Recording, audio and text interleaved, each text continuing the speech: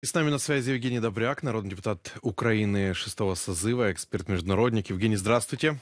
Рады вам. Да, добрый вечер, приветствую вас. Э, тема довольно-таки сложная, э, потому что, как ни крути, но э, мы видим отношения Китая и России. С одной стороны, президенты рукопожатны между собой, но Китай не спешит быть полноценным партнером России, особенно что касается войны против Украины. А тут еще и как-то резко, публично стали наращиваться отношения э, Ким Чен Ина и Путина. Более того, мы видим э, отправку войск в Курскую область. Э, если я не ошибаюсь, по последним данным, предварительная цифра 12 тысяч северокорейских военных. Как вам видится ваше мнение вот этого изменения фокуса отношений Москвы с иными странами? Пожалуйста. Ну, вы знаете, тут очень интересный вопрос, и действительно он непростой. С одной стороны, некоторые эксперты говорят о том, что вот этот вот союз и это стратегическое всеобщее партнерство между Москвой и Пхеньяном, да, оно раздражает Китай, оно как бы напрягает Китай и так далее. Но давайте мы разберемся по-другому. Ведь та ось зла, которая сформирована сегодня, о которой все говорят и о которой все знают, в которую входит Российская Федерация, Иран и Северная Корея, главным патроном и главным спасителем этих стран в экономическом, торговом плане, там, технологическом, каком угодно является Китай. Дальше. Э, многие эксперты говорят о том, что возглавляя эту ось зла и регулируя ее, Китай действительно создает очень серьезный дисбаланс в мире, хаос – для того, чтобы э, стать более серьезным игроком на геополитической и геоэкономической арене. Потому что действительно Китай интересует устойчивое развитие, Китай интересует экономический рост, Китай интересует логистические пути, Китай интересует торговля со всеми континентами, в том числе в первую очередь там, Соединенными Штатами, Европейским Союзом, как самыми крупными рынками для себя. Но с другой стороны, он создает вот этот вот хаос. И вот посмотрите, война России против Украины – Э, Китай разве не знал о том, что готовится агрессия? Я думаю, знал и, и, и молчал, молчал, молчаливым согласием э, дал добро Путину на эту агрессию. Дальше. 7 октября в э, Израиле ну, фактически главный бенефициар и главный зачинщик этого Иран, который через свои прокси-группы совершил агрессию против Израиля. Но Иран является главным союзником и главный его спаситель в экономическом плане есть Китай, потому что 90% нефти, на, на которой держится иранский бюджет, покупает Китай и технологические моменты инвестиций в инфраструктуру, логистику и так далее, да, и военно-техническое сотрудничество в том числе. Китай тоже молчаливое согласие, и посмотрите, как он себя ведет в этих отношениях. Дальше Корейский полуостров.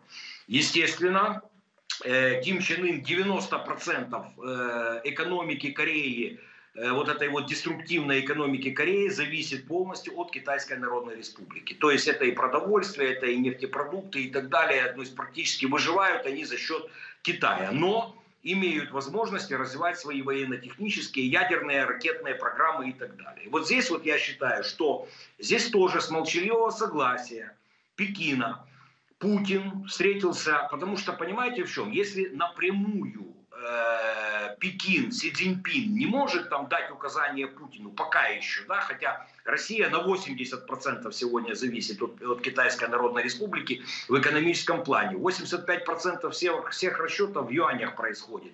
Э, нефть и газ, которую продает Россия, основные э, покупатели это Китай и Индия. Ну, Китай основной полностью. И так далее. Очень э, сильное взаимодействие, плюс по вопросам э, товаров двойного назначения, на которых держится военно-промышленный комплекс э, Российской Федерации. Это тоже Китай, и про это говорили американцы и подтверждали конкретными фактами, даже вводя санкции против определенных э, компаний Китая.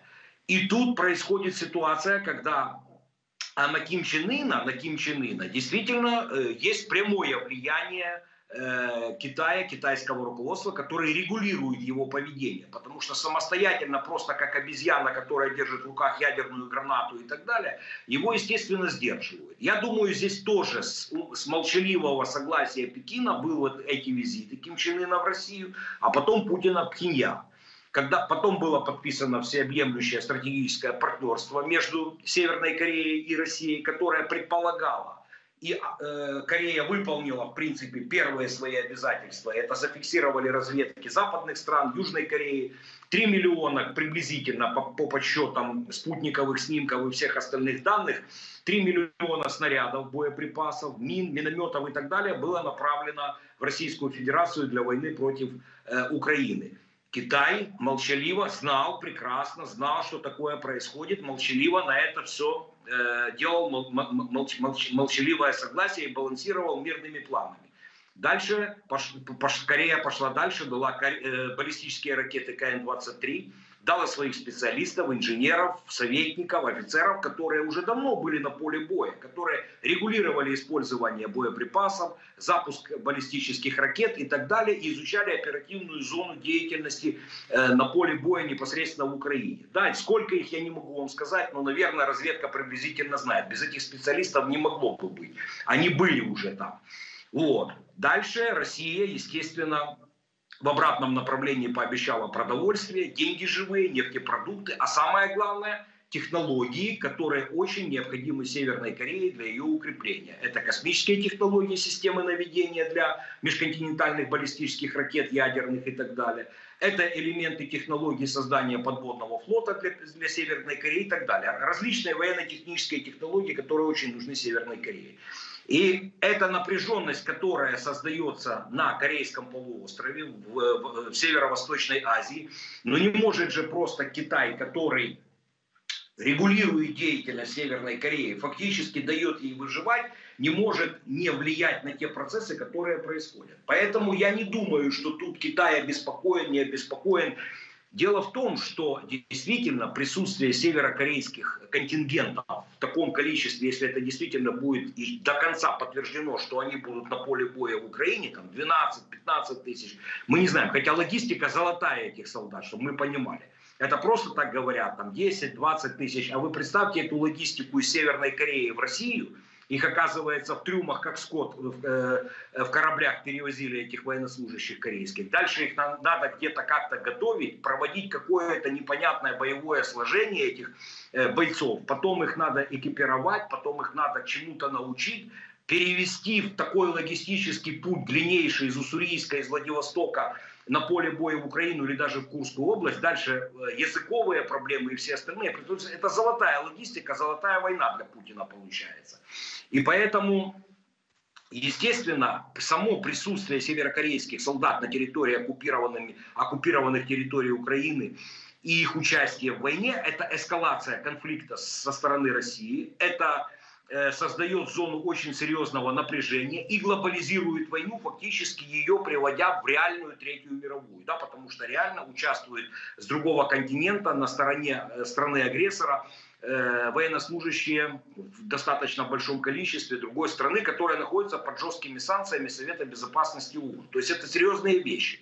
У меня такое впечатление, что Путин провоцирует Запад на то, чтобы Запад в ответ ввел свои подразделения, свои войска на территорию Украины для помощи Украины. Ну, пока это гипотетически говорю, но, скорее всего, такое может быть. Если Путин проигрывает, то для внутреннего потребления российской аудитории и для своих союзников он будет говорить, мы же проиграли НАТО, а не, а не Украине. Но где-то, где приблизительно логику я такую вижу. Хотя может быть еще и намного сложнее.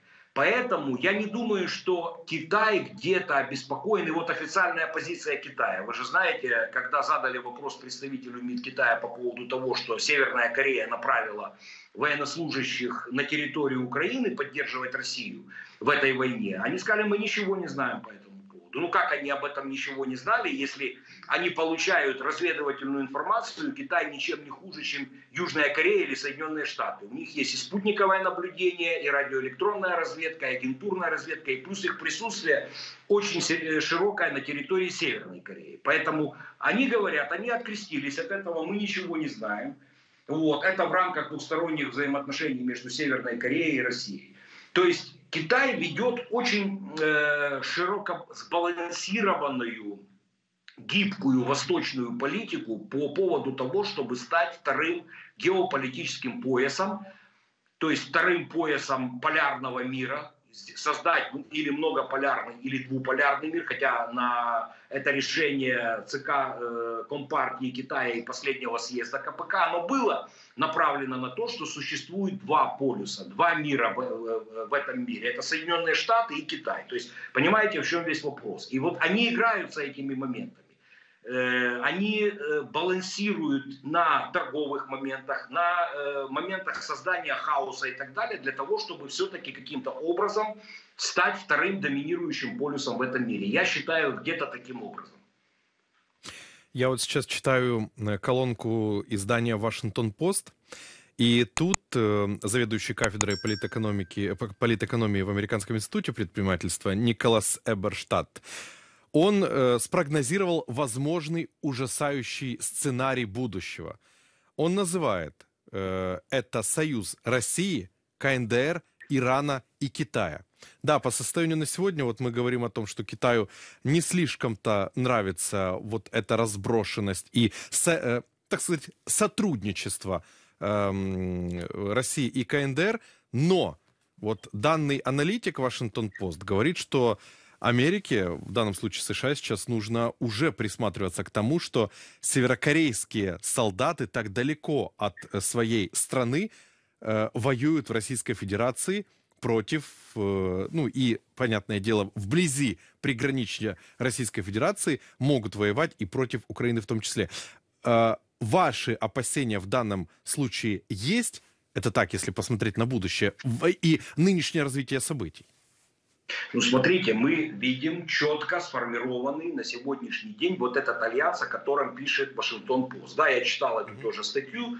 Э, дело все в том, что это, это уже существует. Мы сейчас э, с вами проговорили это. Существует союз Э, и стратегическое партнерство между Китаем и Ираном, а Иран через свои прокси-группы ведет войну и дестабилизацию в регионе Ближнего и Среднего Востока. Есть большое напряжение в Тайванском проливе, в Южно-Китайском море, где Китай постоянно провоцирует определенные конфликтогенные ситуации. Но, во всяком случае, пока логистические в Южно-Китайском море и учения АБ в э, Тайванском проливе возле Тайваня. И это тоже достаточно большая угроза Э, в случае, если прогрессивно-демократическая партия Тайваня, Зеленая коалиция объявит о независимости Китай, это для Китая действительно красная линия, которая записана в их концептуальных моделях и стратегиях военных, она будет применять силу. Дальше это дестабилизация на Корейском полуострове, и опять-таки здесь Китай в зоне влияния. И э, тоже их такой союзник и России, и Китая, Венесуэла, которая дестабилизирует ситуацию. И уже не, несколько было вариантов, вы знаете, э, вокруг Гаяны, вокруг э, провинции Сакиба, которая очень богата нефтью. И, кстати, это клинч с Бразилией, потому что Бразилия на стороне, на стороне Гаяны. Это, кстати, о противоречиях в БРИКСе очень серьезных. И действительно там создается зона нестабильности.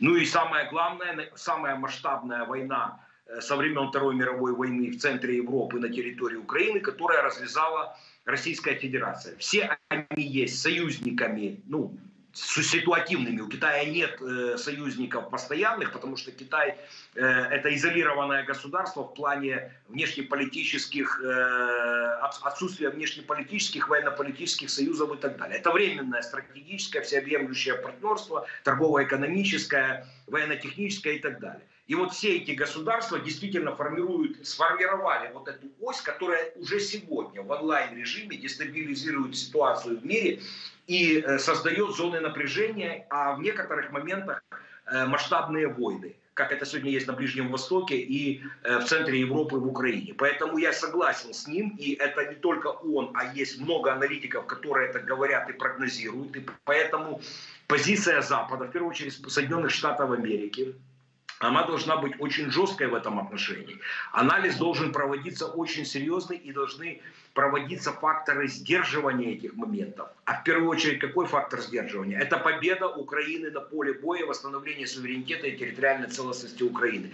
Тогда, когда э, Россия терпит поражение, восстанавливается международное право и формируется новый, новая, новая архитектура безопасности, устойчивого развития, скорее всего, реформирование э, Организации Объединенных Наций или создания новой структуры, как было после Лиги наций, э, Организации Объединенных, тогда будет действительно, это очень серьезный сдерживающий фактор, который не даст Китаю делать вот эти вот дестабилизирующие зоны в мире и поставить все на свои рельсы так, как должно быть в планах мирового порядка. И по геоэкономике, и по геополитике, и по всем остальным моментам. Знаете, Евгений, я вот э, читаю, опять же, Вашингтон Пост, Foreign Policy, еще когда они э, писали в начале этого года э, прогнозы, говорили о том, что сейчас будет год жесткого изменения геополитических процессов. И мы видим это сейчас как раз по Путину и по Российской Федерации. Они пытаются прощупывать и искать себе новых партнеров в силу того, что Европейский Союз, Запад отказывается от России. Выходят, я имею в виду инвестиции, деньги, заводы, и Россия сейчас пытается искать кого-либо, я так понимаю, они от безвыходности уже соглашаются даже с теми, кого сами же считают террористами по сегодняшний день. Евгений, это еще, это еще нужен час для обсуждения этого, этой темы. Я вам очень благодарен за то, что вы нашли время присоединиться к нашему эфиру и обсудить эту тему. Всегда рады вам в эфире Freedom. Евгений Добряк с нами был на связи. Народный депутат Украины, шестого созыва, эксперт-международник. Оперативные новости, эксклюзивные видео с линии фронта. Глубокие аналитические обзоры и только самые авторитетные спикеры. Подписывайтесь на YouTube-канал Freedom, чтобы не пропускать главного.